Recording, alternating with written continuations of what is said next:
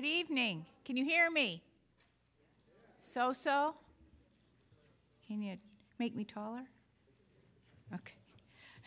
I'm Ellen Levy, chair of the Great Decisions Committee and a board member of the World Affairs Council of Western Michigan.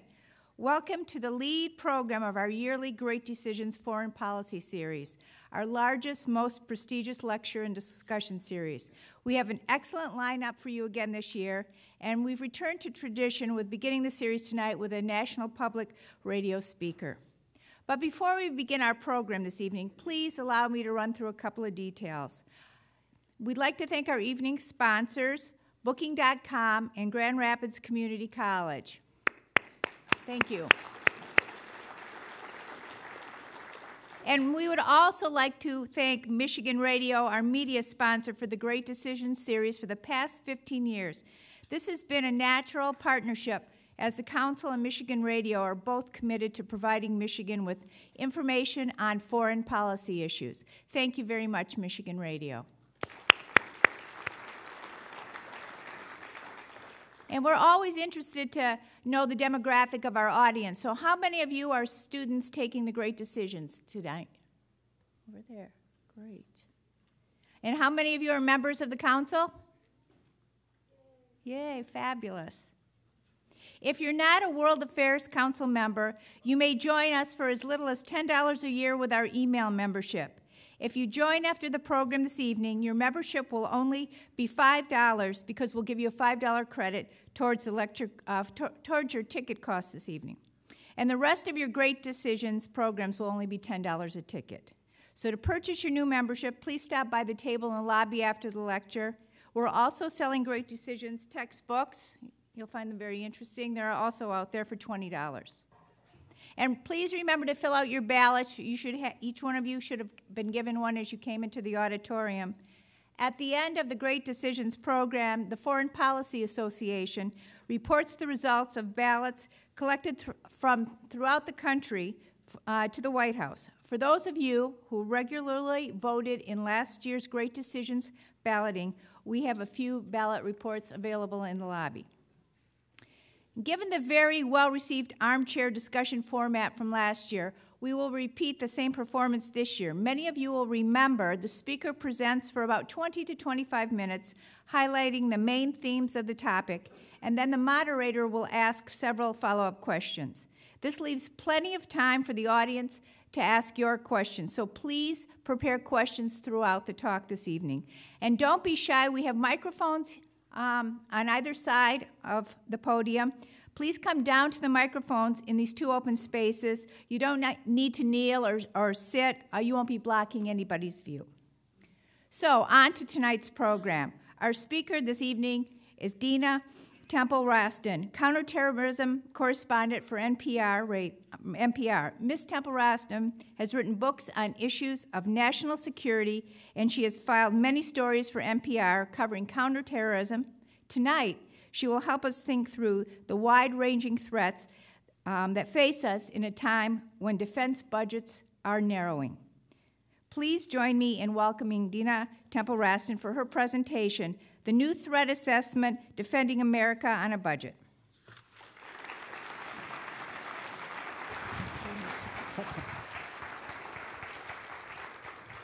Hi there, I'm Dina Temple Raston, and uh, it's I always have mixed feelings when I meet audiences because you've known me as a uh, disembodied voice for a while, and uh, uh it kind of takes all the mystery out of it to actually see what I look like and see the voice coming out of my mouth but I, I, understand a little bit of what you're feeling because um, Susan Stamberg works in the Washington office. I'm out of New York usually, but whenever I'm in the Washington office, I try and time my coffee breaks for when she's in the kitchen, so that I can actually see the voice coming out of her body. I think it's. Uh, um, I'm a big Susan Stamberg fan, fan. So, what I thought I would do is we have a nice mix of the audience. I'm going to talk a little bit about the Great Decisions textbook, but I'm also going to talk in a broader sense of the things that I think uh, are kind of missing from it from a counterterrorism perspective. And then I'm going to bring it back around again to this idea of, of budgets. Um, the Great Decisions uh, textbook uh, assesses threats and ranks terrorism somewhere between inconvenient and serious. And, and I think that's about right. but what I thought I would do is give you a little more to think about uh, when it comes to threats and to talk about some things I think you should be thinking about just uh, over the next sort of six to nine months, things that I think are going to start appearing in the papers. I think sort of my responsibility when I do one of these speeches is to kind of put you ahead of the curve and give you an idea of what we're thinking about at NPR to put you ahead of the curve as listeners. But since you showed up in the snow, you get to find out before 31 million people who listen to the radio do. Okay. So basically, uh, I think that the threat assessment uh, chapter in this uh, Great Decisions book should have also included the role of drones drones in uh, eliminating threats and drones as possibly causing threats. Um, I also thought that it should have uh, included the intersection of terrorism and transnational crime. Um, and I'll give some examples of that and why I think this is going to be sort of the next wave of terrorism. And then I wanted to give you a little slightly different lens through which to maybe view the Arab Spring or the Arab uprising, um, a, a terrorism lens. And, uh, and after I do all that, then I'll, I'll sit down uh, with Vince Duffy and he'll grill me on all of that. So um, I just got back from uh, about five weeks in Pakistan, and uh, there was real confusion about the way Pakistanis feel about drones. When, when we hear about this, we hear that Pakistanis hate the drones and it's, it's driving the Pakistanis uh, against us. In fact, the people who really hate drones in Pakistan are the Pakistan elite the people that people like me talk to because they speak English and they're accessible. So, one of the big things I wanted to do while I was in Pakistan, basically, NPR sent me there to run the Islamabad bureau for about five weeks. And what I wanted to do when I was there was actually go to a drone site. You may not realize this, but there actually have not been English speaking journalists who have actually gone to a drone site in Pakistan and asked the people who were around that drone site how they feel about the drone program. So um, I had a really great source who was a very high ranking official in the ISI, which is the Pakistani equivalent of the CIA. And I explained to him that there was this confusion in the United States about the drone program in Pakistan, and that I wanted to go to a drone site. And we had this all set up, except that there was one little hitch, and that was that the Americans couldn't guarantee that wherever I was, they wouldn't shoot while I was there. So I decided not to go. Um, and, and that's how pervasive the drone program is in North and South Waziristan in Pakistan today. I mean, they're running all the time. But what my understanding is, is that regular Pakistanis who are living day to day with the Taliban in these areas actually are not so against the drone program because they're the ones who are having to deal with the Taliban's day to day decrees. Uh, the Sharia law, in which women have to be covered, where there's no music, those sorts of things. And, and since the drone program has started, they will tell you that militants have abandoned a lot of these areas. So it is working. And people who study radicalization in Pakistan say the radicalization of young men in these areas has also gone way down because basically these militants have had to go to ground. What nobody talks about, and this is uh, the story I really want to do for uh, NPR, is what nobody talks about is um, this other problem with drones, which is that they have a hum. And this hum is a pervasive hum that they hear over North and South Waziristan 24 hours a day. But here's the difference about the hum the hum is often followed by an explosion. So if you hear the hum, you've got to be sort of bracing yourself for an explosion. So let's see if this microphone, does this microphone still work if I'm not behind that? Okay, so I was in Iraq for NPR in 2008.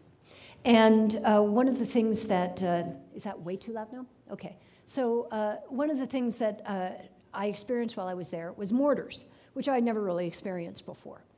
And um, mortars, I don't know why, but I thought they were like a gun, like they go in, you know, rounds of six or something.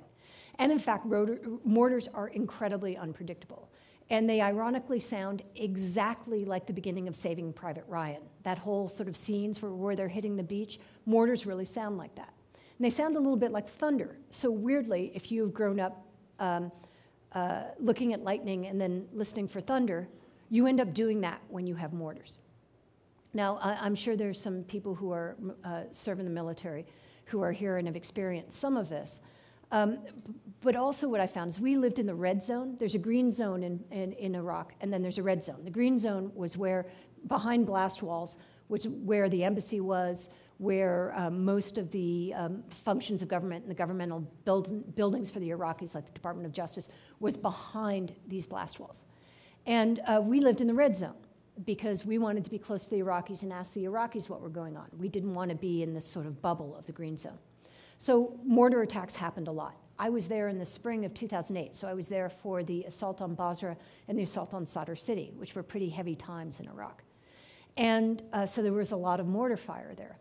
And when a mortar lands close to you, at least this is the way it worked in our house, um, it actually sucks the air out of the room. And uh, when you've had a lot of mortars fall, you'll be sleeping, and then you'll suddenly wake up and you can't breathe. And you're not sure if it's because you dreamed a mortar or if one actually fell. But I can tell you what does happen is that you stay up and wait for another mortar to fall so you can figure out whether you or not you dreamed the mortar or one actually fell. The reason why I tell you this story is because it gives me, I think, a little bit of insight about what it must be like to have drones buzzing overhead all the time. Because you think you hear it, but you're not sure you hear it, and uh, you wonder if there's going to be an explosion that follows soon. So, one of the things that they're finding in these areas of Pakistan where the drones have been flying a lot is they have found that these people are suffering from PTSD. So when you talk about Pakistanis and the way they feel about the drone program, I think we're maybe seeing it in the wrong context. Uh, it's not whether they do or don't like drones, it's sort of these ancillary effects that the drone program is having. And I'm not quite sure how you, how you fix that unless you have a non humming drone. Um, the, the second thing I wanted to talk about has to do with the, uh, the intersection of terrorism and transnational crime. Now, I've been working on Al Qaeda like things since 2004. I wrote a book about the Lackawanna Six, who were those guys in upstate New York who attended an Al Qaeda camp just before 9 11. And uh, in order to write that book, I had to travel to Yemen and go to the villages they were from. I went to Pakistan and stayed in jihadi hotels where they stayed. That was a little freaky. Uh, and then I uh, basically went up to the border and went across the border into Afghanistan on the back of a motorcycle because that's what they did. And I thought to have street cred, I'd have to do that too. And then I scurried back across the border and got them to stamp my passport because I didn't want to be arrested for sneaking into Afghanistan. This was in 2005. And it seemed like um, everywhere I went, something happened like a week after I left. So if the FBI was monitoring me very carefully, it looked like I was setting timers everywhere. Uh, because there'd be like a suicide bombing as soon as I left Karachi, or there would be sort of a, a the first of the suicide bombings at the time, or there would be some mishap, uh, you know, at the border where I just was at Spin Boldak. Uh, so Al Qaeda used to be Al Qaeda Core. We all know about that, right? And then it changed and morphed a little bit and became Al Qaeda with affiliates. Here in Michigan, I know that you guys are, are intimately aware of the Abdulmutallab case, the underwear bomber case. Uh, and I think Andy Arena has, the, from the FBI, has come and sp- spoken to you before. He's really an amazing guy and interviewed Abdulmutallab himself. Um, so he was with an affiliate. So it wasn't Al Qaeda Core that ordered that attack uh, on Northwest Flight 253. It was an affiliate. So that was the second sort of generation of Al Qaeda. And, and now what we're seeing is, and what I think we're going to see over the next couple of years, is what happened with the BP plant. Now, my editor for some time has been talking about the intersection of terrorism and uh, uh, transnational crime, and for no good reason uh, transnational crime, for some reason, makes my eyes glaze over. I'm not quite sure what it means, and it's sort of one of these buzzwords that sounds very sexy, but it's hard to sort of nail something onto it. I mean, I think of drugs, I think of you know human trafficking, but I'm not quite sure what I think transnational crime is. But the BP uh, uh, facility attack really crystallized this for me. Um, there is a group uh, in Al Qaeda, one of its affiliates, not the one in Yemen that sent the bomber, but actually the group Al Qaeda in the Arabian, uh, sorry, Al Qaeda in the Islamic Maghreb, AQIM. And AQIM was sort of the black sheep of the affiliates. And it was the black sheep of the affiliates because really it was all about crime. AQIM made its name by kidnapping Westerners and getting tens and later hundreds of thousands of dollars uh, by returning Westerners safely uh, and g- gathering these ransoms. One of the top guys in AQIM was a guy named Mukhtar Bel Mukhtar. And Mukhtar Belmokhtar, his name may be familiar to you now because he thought out the BP plan. He was the one who thought of, of, of attacking the BP plant. Um, but what Mukhtar Belmokhtar was always so famous for is he's the most famous smuggler in the Sahel. Okay, the Sahel, I've never understood what that really meant either, but I finally had someone explain to me what the Sahel region is. It's basically a big band at the top of North Africa, and it was a trading region. Okay, so, so S-H, no, S-A-H-E-L, Sahel. Okay, so, the, so he was the greatest smuggler in the Sahel. So here's a guy who's a great kidnapper, a great smuggler, who used to get letters from Osama bin Laden that said, hey, knock off the kidnapping and the smuggling. We're supposed to be sort of an ideologically pure organization here, and you're using the Al Qaeda name, uh, but you're basically a common criminal. And Mukhtar Belmokhtar kept doing these crimes. Now, what a lot of people may not know, and this hasn't really been widely reported, is that in December, Mukhtar Belmokhtar was tired of being told that he was a criminal so he succeeded from AQIM. And he started his own group. And that's the group you keep hearing about, you know, Brothers in Blood or Signed in Blood, the group that apparently did this BP uh, attack. And the way they funded that attack was through all the smuggling and all these kidnappings. And the way they got the guns and weapons for the attack is when Libya fell, there was an arms bazaar in Africa.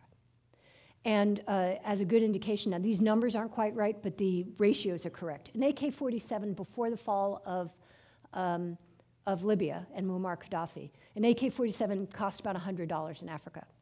After the fall of Libya, it cost $50. So this is, uh, I was talking to an economics professor today, and I thought it was really cool how economics works everywhere, including the black market. So you, the way you could tell that guns were actually flooding the market was that the price of an AK-47 was cut in half.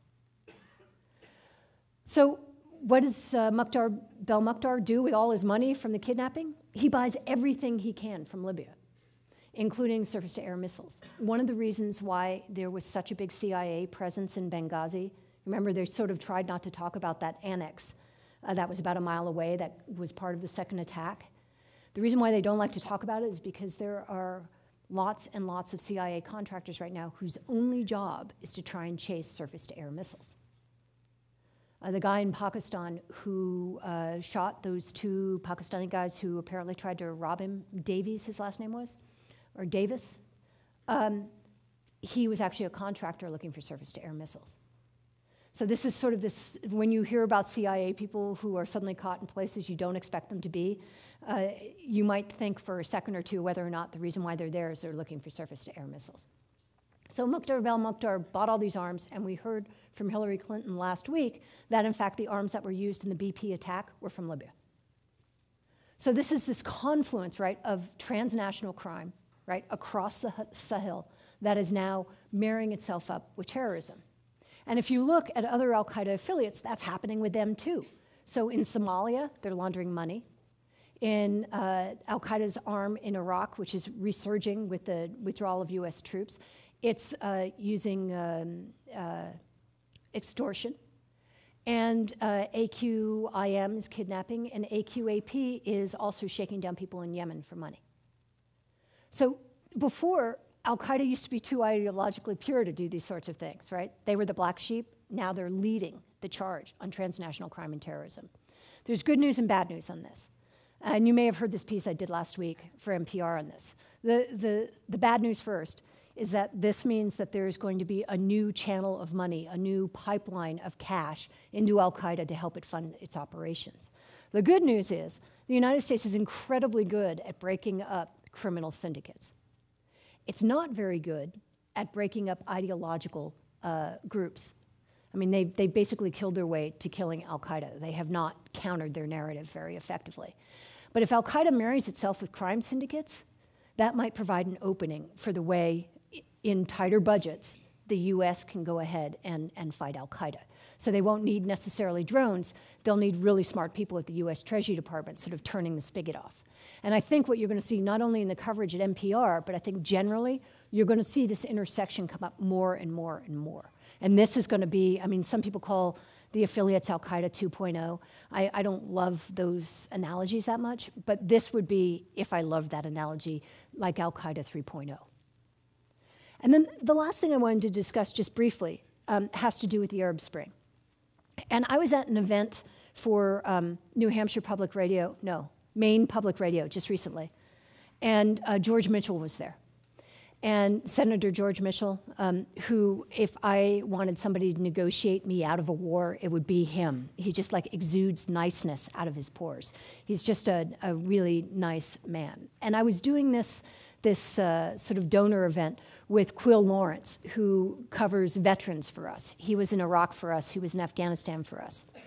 And Quill was talking about expectation. And Quill said, that uh, he found that, or what he was really looking at when it came to veterans, was what is going to happen when the United States and, and the citizens really begin to assess the two wars, uh, the war in Iraq and the war in Afghanistan. Because we haven't really assessed it and thought about it yet, right? And like, were they wars worth fighting? We're still pulling people out of there. I don't think that we've really, as a nation, mulled that over, or even had enough time to mull it over and decide whether what we did there has ended up giving us what we wanted. Um, so Quill is sort of watching that and the expectation that these troops are having. And I'm not saying we're going to be negative about troops. I don't think this is going to be another like Vietnam, coming back from Vietnam thing. But um, they had spent four and five tours in Iraq and Afghanistan. And how are they going to feel if the Amer- American public sort of says, gee, I wonder why we did that? So that expectation is something that, that, that Quill is looking at.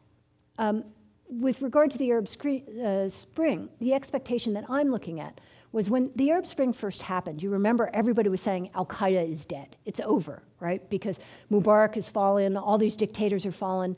And for the most part, these were fairly peaceful demonstrations. They weren't perfect, but they were fairly peaceful demonstrations. And Al Qaeda's whole narrative has always been that the only way to topple these dictators and to beat the infidels is through incredible violence. And this, with the exception of Syria, I put that aside. But if you think of Tunisia, if you think of Yemen, even, uh, there's not the same sort of violence that Al Qaeda would have uh, advocated. Um, but what we maintained as a news organization, even during the Arab Spring, the, or now the Arab Uprising, which is probably a better term for it because there's not much spring like about it anymore, is um, that those expectations that people had going in the streets, if those expectations weren't met, it was going to be a huge boon for Al Qaeda. And a huge boon because there's nothing worse than being disillusioned. If you're disillusioned, someone can sell you uh, a different idea fairly easily because the idea that you had embraced disappointed you. And I think that is something that when we look at the Arab uprisings and we look at Al Qaeda's role in the Arab uprisings, I think is really important that we look at that aspect of it because that's where Al Qaeda is going to get a toehold. So I told you about uh, George Mitchell for a very specific reason. And that was after Quill had said his piece and I had talked about the Arab Spring in expectation, George Mitchell then piped up and he said, You know, a really huge issue for me when I have been negotiating has been the expectation that people have for the United States. They think that because the United States is so powerful, that when the US doesn't go in and do something, it's not because it can't or because it won't be effective, it's because the US doesn't want to. So they see it as really this idea that we don't care about you. And this has been a huge issue for him in his negotiations. Now, even today, you know, when I talk to, to Muslims about Bosnia, I was a White House correspondent during the Clinton administration. I worked for Bloomberg News at the time. And so I was there when they were making all the decisions on whether or not to go into Bosnia. And it took a long time to finally have the US go into Bosnia.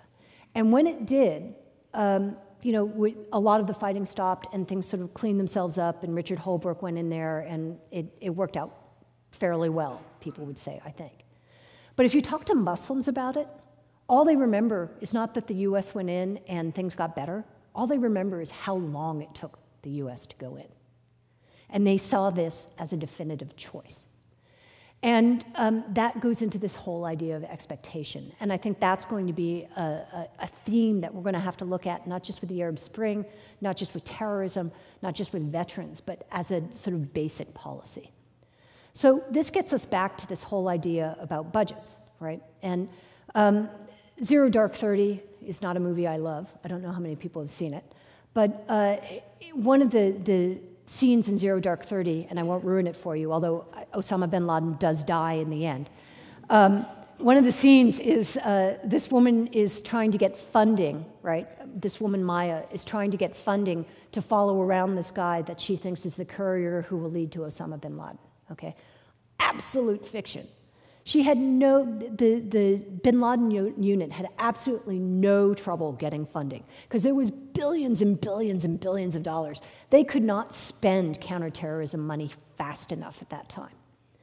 We are no longer in that era, and we haven't been in that era for a really long time. So when you talk about budget cuts, and I'm not an expert on defense, our, our uh, Pentagon correspondent, um, Tom Bowman, is better to talk about the sequester and that sort of thing. But when you talk about budgets and counterterrorism, um, counterterrorism has changed so much that these billions and billions of dollars are no longer needed. Example, the BP uh, facility, right? The BP attack has really woken up uh, Americans to the fact that North Africa is clearly an Al Qaeda problem, right? And that was the first time I think Americans really focused on that. We did a story back in October 2011 in which I said in this story that Africa was going to be the next big problem with Al Qaeda. The reason why I remember this, not only because it seems like I'm a genius now for writing that story back in 2011, um, is because my editor really pushed back and said, that's just such a vague, lumpy story. Africa's a really big place. And I said, I'm telling you, the people I'm talking to in the intelligence community, what they are worried about now, so this is October 2011, what they are worried about now is what Al Qaeda is going to do in Africa in the fissures that are there, whether it's Nigeria, and there's a group there called Boko Haram, or whether it's Mali or uh, any other place within you know, the Sahel. So we wrote that story, and then now, of course, we seem prescient. And of course, I wouldn't mention the story if the BP attack hadn't happened. You would never know that I wrote a story in 2011. But the, the, the, BB, the reason why the BP attack is so illustrative here is because um, as soon as it happened, the US began negotiating a SOFA agreement, a status of forces agreement, with um, Niger. And they talked to Niger about um, putting in an airstrip so they can have a drone base there. So the way they are going to watch North Africa is not by putting boots on the ground, not necessarily by having special operations forces, though I'm sure they're going to be there too. The way they're going to do it is really a pretty cheap way. They're going to send drones in there to keep an eye on what's happening. Now, to begin with, the drones are supposed to be uh, unarmed, but I think that they're going to end up being armed if this threat, this transnational crime and terrorism threat continues to come out of Africa. And I think that's what you're going to see next, too. So, just to sort of sum up, and then uh, we'll, we'll have a question and answer. Um, in this time of budgetary constraints, in a huge way, I'm not that concerned that counterterrorism is going to suffer. It's pretty hard to cut counterterrorism programs because of the way the American people feel about them. And they have worked reasonably well given that we have not had a major attack in the United States since 9 11. The biggest attack was Fort Hood. And um, just quickly, I uh, was in Pakistan right for five weeks, and I got back about three and a half weeks ago. And I've flown three times since then. And I don't know if you've ever looked at your boarding pass to see how you're coded, but I am now coded as a 4S. What a 4S means is I've actually been in Pakistan, so they will rip apart my bag every single time I go through. And not just a little, I mean, she was leafing through my magazines. I was, I was getting a little angry about the leafing through the magazines. I mean, what were you looking for? Some, you know, evil Quranic verse that you wouldn't be able to read. And also, I have all these cards on my bags on purpose that say NPR in really big letters, because I carry a lot of radio equipment that could look suspicious. But if you see an NPR card, maybe that would explain it for you. And my actual title is Counterterrorism Correspondent. So it's rather silly as they're ripping up my bags. And I've mentioned this to them. But there was a guy who actually missed me and I, on the way here. And I gave him my, my boarding pass, and I almost said to him, The last guy who tore apart my bag was kind of a jerk. Could you find a nice guy this time? And then I decided not to do it. I thought maybe, maybe I'm wrong. Maybe, maybe the four S's don't mean what I think they do. And then he waves me through. And I went, Oh my God, I was totally wrong about the four S's. I'm sitting with a cup of coffee a guard comes to me about 25 minutes later and says, Excuse me, miss, we need to check your bags. so um, we walk over there, they tear apart my bags, and the supervisor says to me, Who let you through? Who let you through? And I said, Well, it was a guy with sort of a cheesy mustache and round glasses. And she said, What time did you go through? Meanwhile, they're pulling apart my bag and I'm being like really helpful. Uh, 916, 917. I just looked at my watch. I was wearing a black coat. I went through that one. No. And they're running through the videotape to try and find me. And uh, the guy walks up, and I said, That's the guy. And uh, they show him my pass, and he goes, Holy shit. Sorry. So, and meanwhile, I'm like this blonde haired, blue eyed counterterrorism correspondent that they're so frightened of. So they are basically going to be pulling apart my bags for some time to come. And uh, I know John Pistole, the head of TSA. I've had dinner with him, so I keep meaning to call him and then I forget. So I'm definitely going to call him and say, Really, could you take me off this list? And we'll see, see if it happens. So next time you get your boarding pass, look and see if you too are part of the 4S Club. And, and uh, we can commiserate together. So maybe we can go to, to questions now. Thank you.